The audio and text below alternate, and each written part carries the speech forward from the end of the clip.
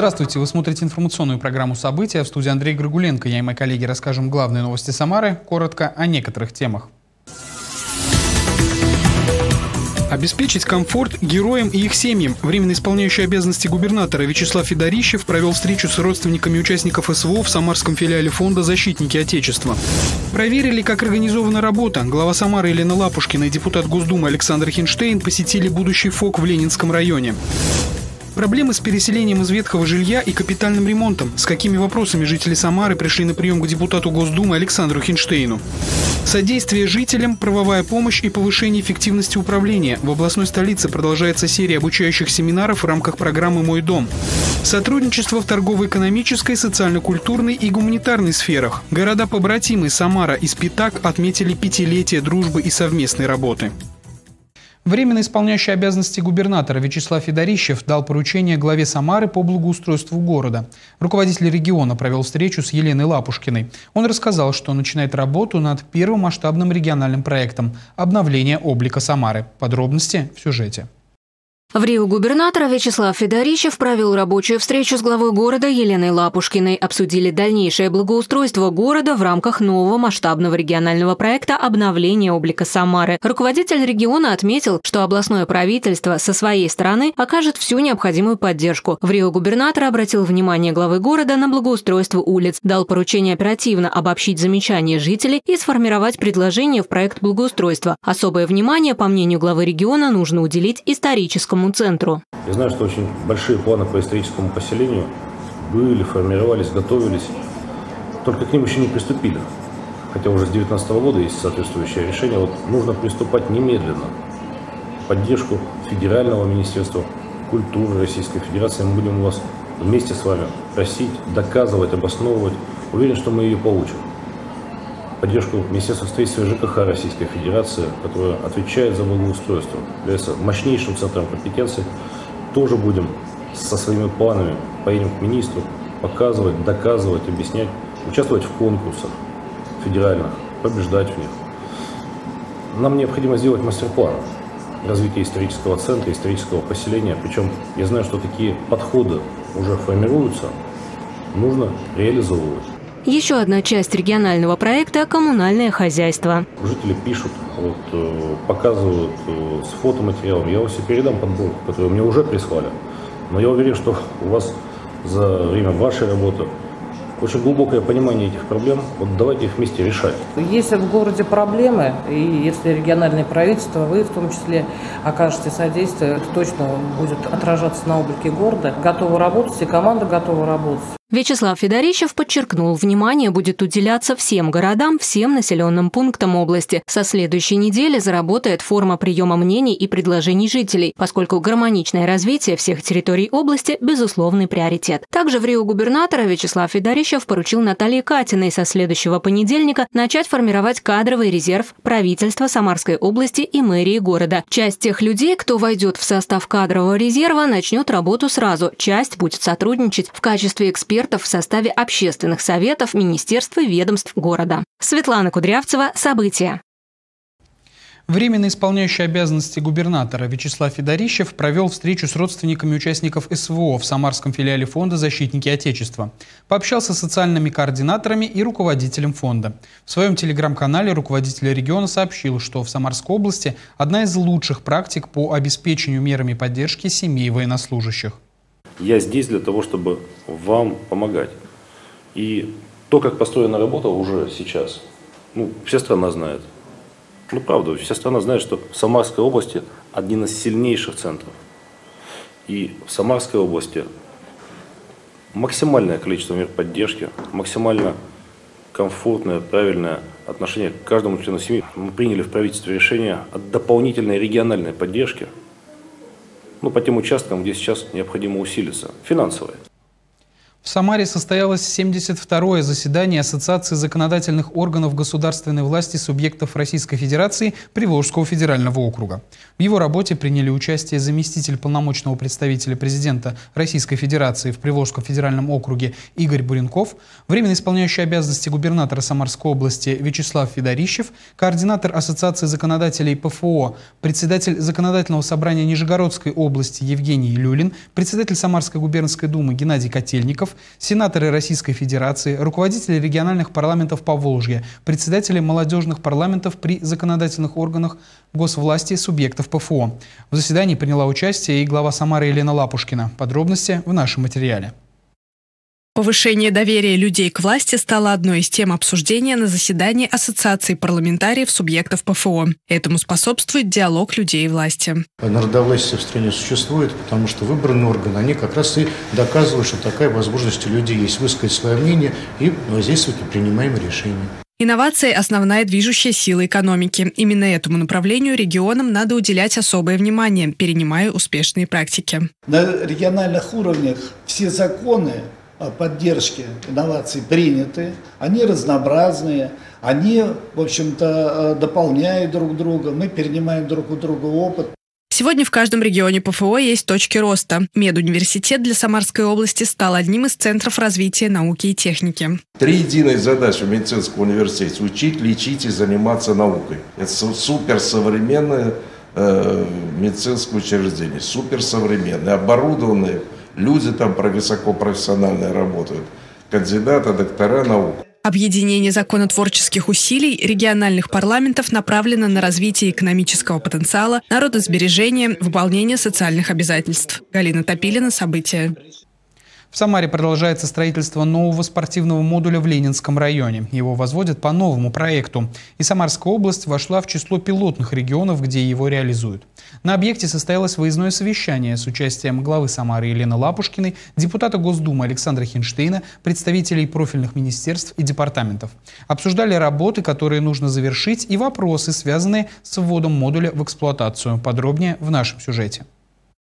Баскетбольные кольца и ворота для мини-футбола уже ждут первых посетителей спортивного модуля в Ленинском районе Самары. Объект создается по новому типовому проекту. Таких в стране всего три. Быть первопроходцем в строительстве такого объекта значит столкнуться с большим количеством вопросов и сложностей, нежели работать уже зная опыт предшественников. Чтобы запустить модуль в работу, нужно решить несколько вопросов, в том числе связанных с документацией. Для этого прошло выездное заседание на объекте с участием главы Самары Елены Лапушкиной, депутата Госдумы Александра Хинштейна, представителей профильных министерств и департаментов документов. Мы понимаем, как сделать в ручном режиме а, так, чтобы этот объект заработал и вся территория вокруг была благоустроена, как это изначально и предполагалось, к осени текущего года. Внутри спортивного модуля будет универсальный спортивный зал. Здесь могут тренироваться как представители игровых видов спорта, таких как мини-футбол, волейбол, баскетбол, так и представители единоборств и музыкально-танцевальных дисциплин, чир-спорт и художественная гимнастика. Сейчас уже составляют расписание секций и тренеров по месту жительства, которые будут занимать зал. У нас а,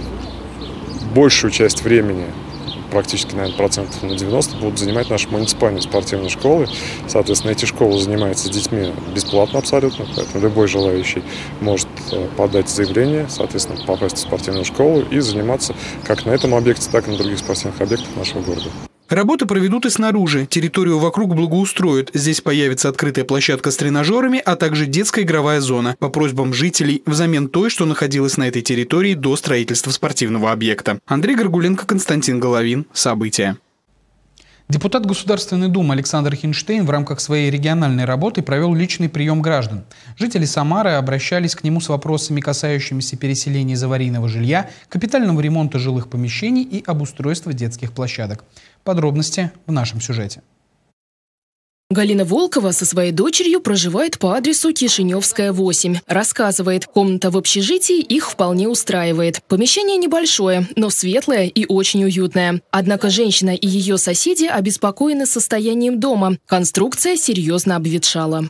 Сделали нам, правда, свет и отопление, но все вот трубы, я не знаю, как они сделаны, у нас со второго этажа течет Со своей проблемой Галина пришла к депутату Госдумы Александру Хинштейну на личный прием граждан. Пути решения искали вместе с городскими властями, главой Куйбышевского района Алексеем Коробковым и руководителем городского департамента управления имуществом Андреем Белоклоковым. Они пояснили, что сначала необходимо получить экспертное заключение о том, что здание является аварийным. Процедура займет полтора месяца. После чего конкретно заявительница, пришедшая сегодня на прием, другим жителям будет предложена возможность переехать временно в маневренное жилье. А вот наша сегодняшняя заявительница с этим предложением согласилась. Александра Стяпина волнует другая проблема. Во дворе его дома на улице Некрасовская, 37, проваливается асфальт. В ненадлежащем состоянии и подвал дома. Вопрос на контроле главы Самарского района Романа Радюкова. Площадь подвала больше площади дома. То есть под, под всем двором это подвал. Да. Соответственно, если даже я технику туда загляну, то мы вместе с этой техникой сделаем. Со своей стороны решение предложил руководитель фонда капитального ремонта Павел Жданов. Здесь необходимо в первую очередь провести полное обследование подвала для определения, все-таки это капитальный ремонт или реконструкция. Потому что это та тонкая грань, которая есть. Сейчас мы как бы свяжемся с нашими э, организациями, кто вышел на проектно-изыскательские работы по инженерке и фундаменту, чтобы они посмотрели объективно и уже хоть как-то будет ну, понимание двигаться. Другие вопросы жителей касались восстановления водоснабжения в домах и благоустройства детских площадок. Ксения Баканова, Игорь Казановский. События. С заботой о природе в Куйбышевском районе Самары провели осмотр естественного водоема с заболоченными территориями. Ранее местные жители в социальных сетях рассказали о возможных нарушениях земельного, а также природоохранного законодательства, о загрязнении водоема и гибели животных. Профильные службы города и Куйбышевского внутригородского района среагировали оперативно. Подробности узнала Полина Чулюкова. В Самаре в Куйбышевском районе прошел осмотр территории естественного водоема с заболоченными участками. Жители выразили обеспокоенность его состоянием и через социальные сети направили обращение о возможных нарушениях земельного, природоохранного законодательства, об исчезновении лебедей, чаек, а также о гибели рыбы в водоеме возле СТД «Дубки». Жители района также пожаловались на загрязнение окружающей среды строительными отходами, так как рядом земельные участки в частной собственности, где идут строительные работы. Эти участки предназначены для садовой дачного использования, а прилегающий водный объект частично занимает территорию городских лесов, частично находится на неразграниченной территории. Профильные специалисты рассказали о том, что контрольные выезды проводились и ранее, например, весной этого года. Тогда обращение в интересах одного из горожан, поступившее из отдела государственного контроля, надзора и охраны водных биологических ресурсов по Самарской области Волгокамского территориального агентства по рыболовству, также касалось массовой гибели рыб, птиц и отсыпки водоема строительным мусором. В части э, факта гибели э, рыбы в водоеме информация была направлена в Федеральное агентство Росрыболовства, которые проводили проверку, и внешних факторов, послуживших гибели э, рыб, они не выявили.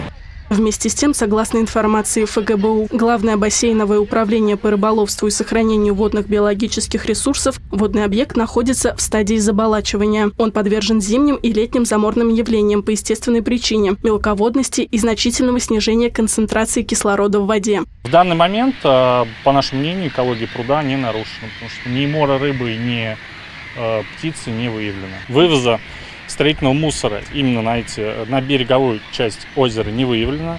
Есть э, навалы э, строительных отходов на частной территории, земельных участков около строящихся коттеджей. Э, собственникам будет проведена работа по обязанию вывоза этих отходов. Ходе сегодняшнего контрольного выезда профильные службы зафиксировали наличие мусора и у самой кромки воды. Сегодня же один из собственников земель приступил к очистке территории напротив своего строения. Стоит отметить, что осмотр провели с применением измерительного оборудования для того, чтобы определить, есть ли нарушение земельного законодательства. Это станет известно чуть позже. Выводы пока делать рано. Это выводы предварительные, то есть это пока основано на визуальной оценке. И мы сейчас будем проводить, как я говорил, уже камеральные работы. И после них уже будет понятно, есть ли э, нарушение э, экологического и земельного законодательства. Чем мы будем контролировать в числе возможности э, использования лесов, которые находятся непосредственно в этой стройке, также ведение стройки и недопущение захламления территории. Сейчас на естественном водоеме живут чайки и лебеди, а на территории прилегающих лесов нет никаких работ, которые негативно влияют на экологическое состояние местности. Никакие работы по строительству и чему подобное, в том числе вырубка деревьев, не проводятся. Границы лесов четко определены, и заходить на эту территорию мы не позволим никому. Полина Чулюкова, Николай Сидоров. События. Правовая помощь и повышение эффективности управления многоквартирными домами. Активные жители Самары продолжают повышать знания на обучающих семинарах в рамках проекта «Мой дом». Одна из таких встреч состоялась в администрации Куйбышевского района. Подробности узнала наша съемочная группа. Мы должны научиться управлять нашими домами. Жилищным кодексом Российской Федерации вам предоставлены не только большие права по управлению МКД, но и обязанности.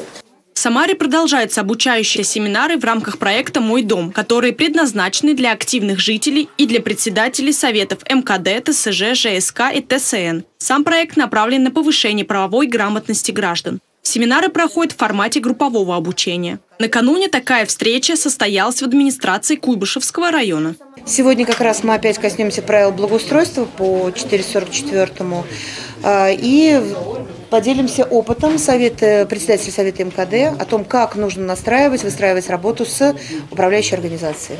Председатель Совета многоквартирного дома по улице Пугачевский тракт 27 Елена Кашаева посетила семинар и поделилась своим опытом с жителями. Я поделилась опытом как старшая по дому, как начинала, а, что у нас в доме происходит, поделилась своим опытом, как мы выходим на субботники и так далее, и так далее. На семинаре жителей также обучают выстраивать отношения с управляющими компаниями, ресурсоснабжающими и подрядными организациями для эффективного управления многоквартирным домом. Такие мероприятия нужны, как бы, чтобы людей мы своих старших по домам как вместе соединяли, объединяли, рассказывали, подсказывали, как, куда что-то, если, допустим, ну, не получается у тех или иных жителей, направляли их, там, допустим, в ГИС обращались или в управляющую компанию, также в администрацию, если что-то жители сами недопонимают.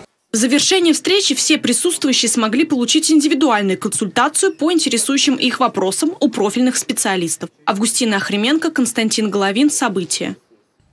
Города-побратимы Самара и Спитак отметили пятилетие дружбы и сотрудничества. Напомним, армянский город Спитак был фактически разрушен в 1988 году из-за мощного землетрясения. Помощь пострадавшим шла со всех уголков СССР. Куйбышев одним из первых откликнулся на беду. Местные жители приютили сотни армянских семей и участвовали в восстановлении армянского города. В 2019 году, во время визита в Спитак самарской делегации, которую возглавляла глава областной столицы Елена Лапушкина, между городами городами был подписан договор о дружбе и сотрудничестве в торгово-экономической, социально-культурной и гуманитарной сферах. В честь пятилетия дружбы в ДК железнодорожников прошел большой концерт. Выступили творческие ансамбли, представители русского и армянского народов. На празднике побывала и наша съемочная группа. Армянские национальные сладости, ярмарка украшений и сувениров. В фойе ДК железнодорожников встречают гостей представители армянской общины. Праздник, посвященный дружбе двух городов Самары и Спитака, стал уже традиционным для городов-побратимов. В 2019 году во время визита самарской делегации во главе с мэром Еленой Лапушкиной между городами был подписан договор о дружбе и сотрудничестве. Но у этой дружбы есть давняя история, которая началась с трагических событий в декабре 1980 1978 года, когда армянский Спитак был уничтожен мощным землетрясением. Добровольцы из э, нашего города э, восстанавливали город после разрушительного землетрясения. Эти дружеские связи сохранились и по настоящее время. Большое количество людей из Армении, из города Спитака переехали жить в Куйбышев, теперь Самара. Именно поэтому наши города объединяют очень многое. Это общая история, это уже ставшие общими традиции.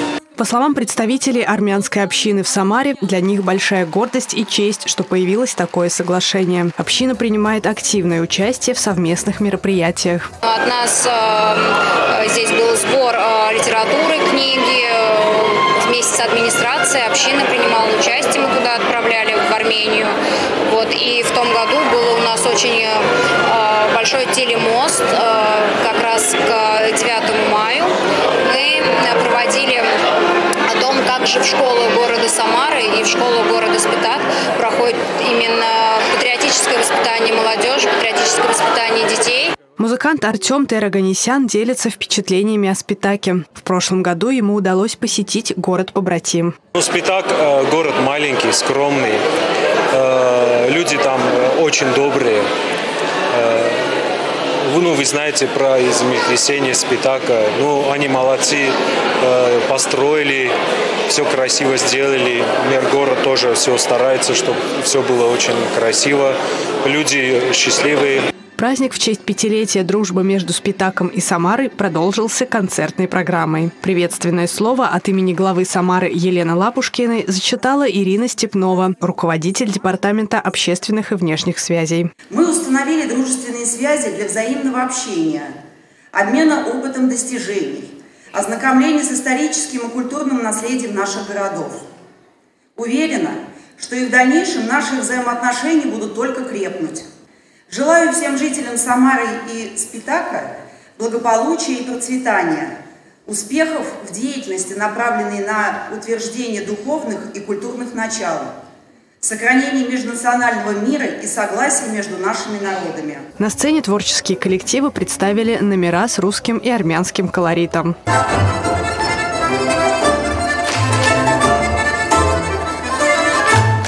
Галина Топилина, Николай Епифанов. События. В Самаре провели турнир по футболу для дошкольников. Играли четыре команды по 10 человек в каждой. Участие принимали как девочки, так и мальчики. На турнире побывала Елизавета Прокопенкова. Первый гол на первых соревнованиях. В Самаре прошел турнир по футболу, посвященный Дню защиты детей. На поле вышли четыре команды, в каждой 10 человек, мальчики и девочки. Участие приняли воспитанники детских садов промышленного района. Среди них и дети из неблагополучных семей. Готовиться к турниру дошколята начали в марте. Дети приходили к нам в гости раз в неделю, мы их обучали футболу. Ну, с культурных занятий элементами футбола. И вот сейчас, как апогей, непосредственно соревнования. Тренировки проходили в новом зале. В нем начали проводить занятия в сентябре прошлого года. Тогда мальчишки тоже первый раз стукнули по мячу в этом зале. Что сейчас я увидел, это разные вещи. А не тогда, кто попадал по мячу, кто не попадал. Турнир для дошколят проводит третий раз. В этом году проект выиграл грант от Департамента физической культуры и спорта. Этот проект э, получил поддержку департамента, конкурсная комиссия его э, включила, для того, признала, чтобы его поддержать. Главная цель соревнований – привить детям любовь к футболу и замотивировать их на занятия спортом. Хоть один, два, три, пять выйдет отсюда профессионалов, то будет замечательно. А остальные будут любить, как многие ребята играют на первенство города, на первенство области, всю жизнь пронеся в своем сердце любовь к футболу. Победителем турнира стала команда детского сада номер 374. Елизавета Прокопенкова, Валерий Майоров. События.